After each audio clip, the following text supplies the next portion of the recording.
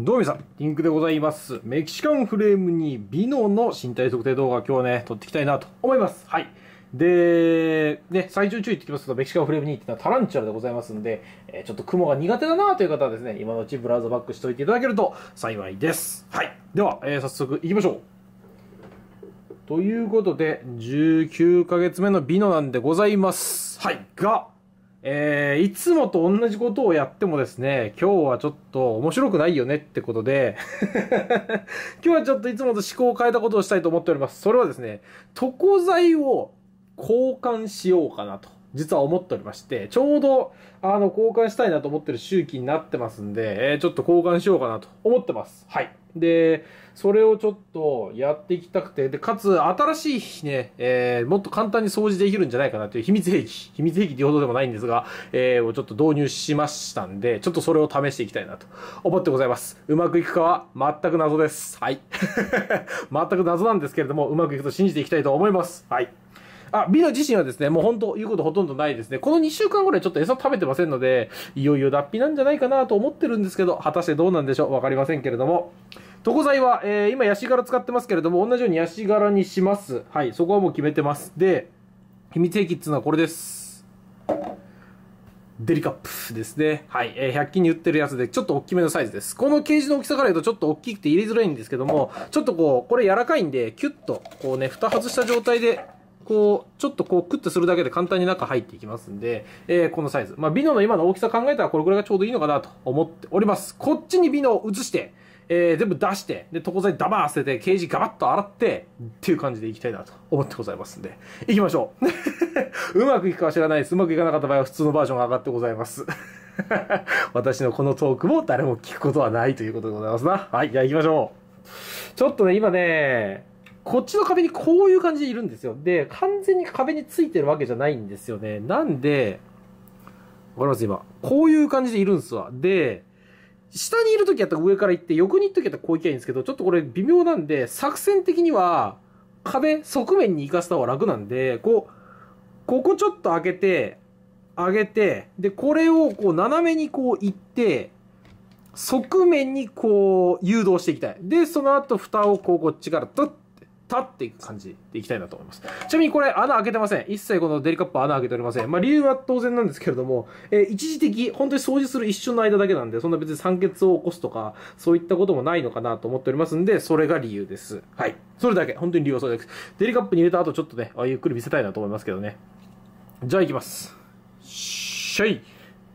パンパンパン。前はね、こういう移動のさせ方じゃなかった。前は袋使ってました、カップの代わりに。でね、あ、そうだ。で、ちょっとね、この掃除の際にちょっとね、ついでなんですけど、飼育ケージをちょっと変えたいなと思ってます。なんでかっていうとですね、あの、実は、このプラケ潰れてまして、ほら、わかります？ここ。この、本当やったらここでこう、カチャッとやって、こういう感じで開くんですけども、ここ実はね、折れてるんですよね。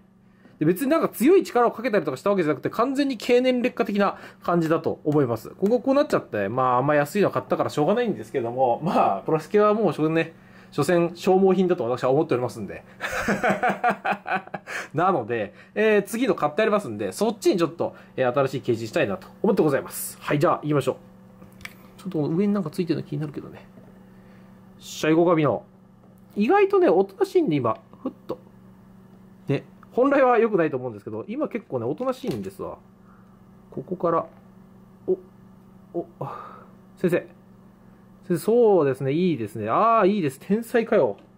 天才か。入った入りきった入りきった入りきったパーフェクト。ゆっくり上げていきます。このまま。ちょっといてくれへん、前。ああ、いいですね。ちょっとこのプラケの太さの分で、蓋がいい感じに縛らへんけど、いけ。こいて。こいてみろ。おいで。おいでそう。ああ、いいですね。ちっちゃいと逃げられるけどさ、もうビノの大きさまでいくとさ、これでは逃げられんよ。多分。はっいやー、完璧です。ちょっと足が入りかけましたけどね。完璧な仕事でございます。いいですね。完璧な仕事でございます。久しぶりにビノのこう、綺麗な全身をお見せできるんではないでしょうか。ガンガン反射しておりますかどうですか？こうやって手で見ると、こうやって身体測定とか出しておけばよかったかもしれませんね。すごい大きさがわかるでしょう。いやー、大きくなりましたよね。最初の頃ほんとめちゃめちゃちっちゃい子でしたからね、これね。いいじゃないですか。もしかしたら脱皮期間かもしれませんが、違うかもしれません。おけつの感じ。わかります？ちょっとなんかハゲとるよね。ハゲてると思いますわ、多分これ。超アップで見せれてる。いや、大満足です。大満足でございます。こんなにアップで見せれるとは思いもしませんでした。いやー、大満足ですよ。当然蓋開けられると怖いので上からちょっと押しますけれども、いいですね。いやー、俺もちょっと久しぶりにまじまじとこんな綺麗に観察しますね。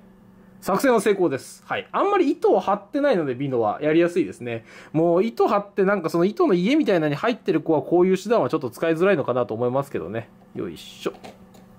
さてと、えー、水入れはちょっともうあんまり何もしません。実はこれ水入れ今日俺掃除して、床材変える予定やったの完全忘れて、綺麗にしちゃったんですよ、水入れこれ。めっちゃ綺麗にしちゃったんで、これこのまま使います。重しです。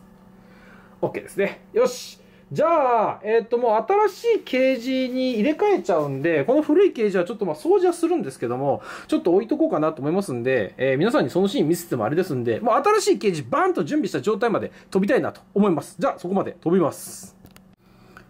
はい、ということでね、新しいケージに無事、ヤシ殻を入れ終わりました。こちらですね。はい、入ってます。皆さんへの見た目はあんまわかんないと思うんですけれども、ちょっと今回は前使ってたのと違うのにして、うちの、まあ近くではないんですけれども、あの、新潟に八倉さんとコラボしてるホームセンターさんがあって、そこでまあ八倉でだから売ってるやつなんですけど、これ、プレミアムパームっていうヤシ柄のやつにしました。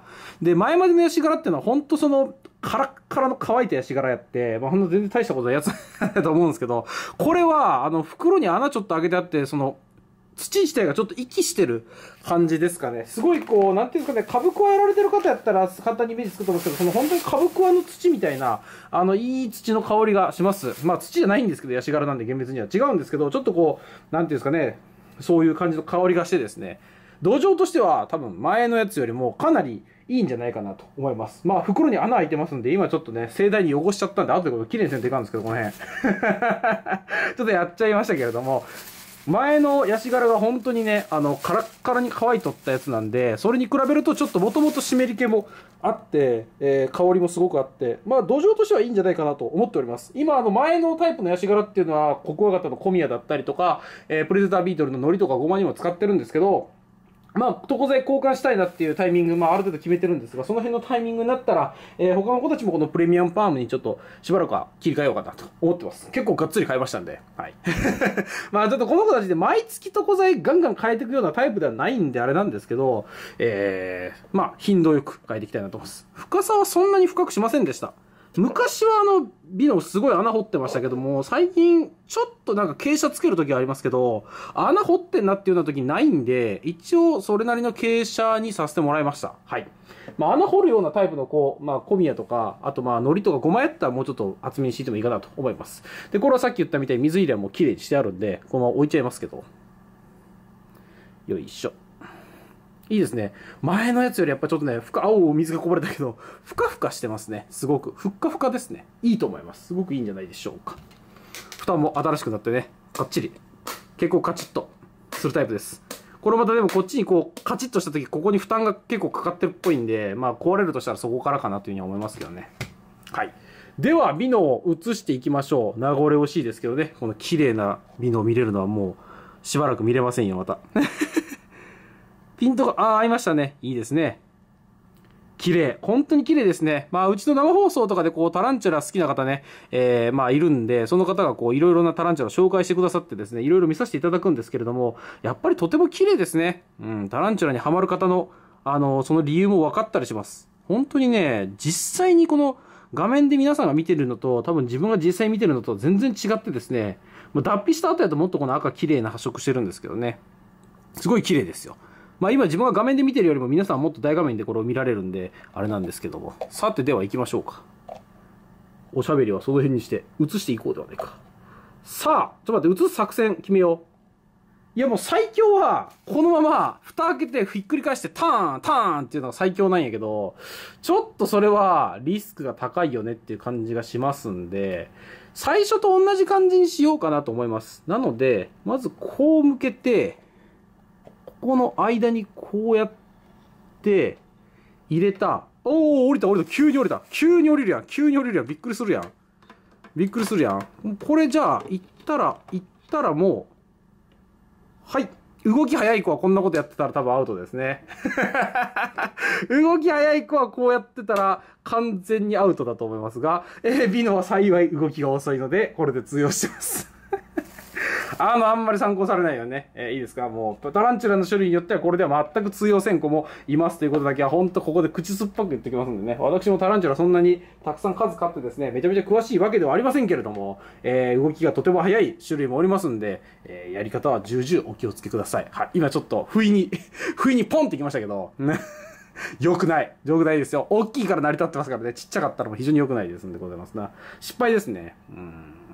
もうそんな感じじゃない方が良かったかな。もうここから開けてこうの方が良かったかね。ここから開けてスッとも良かったのかな。本当微妙なところでございますけどもね。まあ大きいからこそ成り立つやり方だと思っていただいたらと思います。はい、ということでビノはね、新居に無事入りました。入ってます。はい。本人はまだびっくりしてると思いますが、えー、徐々にね、慣れてってくれたらなと思います。そんな頻繁に変える子ではないですけどね、やっぱりたまにはこうやってきっちり綺麗にしてあげないとね、いけないかなと思います。まあ割と、あの、他の子たちはガンガンね、消毒とかしたりとか、爬虫類とかしたりしますけれども、ちょっと虫系はね、怖いんで、あんまりその、消毒バンバンとかいうのはしないようにはしてます。はい。一応ね、ちょっと注意してっていう形になりますね。ちょっとこの子は、この辺のメッシュがすごいあるんで、あの、毛飛ばされるとなんか、メッシュが前のやつよりでかいんでね、毛飛ばしてくると強烈に手に当たりそうな気がしてます、今。まあ、心配な場合は養生テープこうするとか、そういった形すればいいのかなと思うんですけど、あんまでも塞ぎすぎって今度蒸れちゃうんでね、難しいところではありますけども、ちょっと毛の飛ばしだけ気をつけたいなと思いますね。うん。この新しいやつはね。そんな感じでしょうか。はい。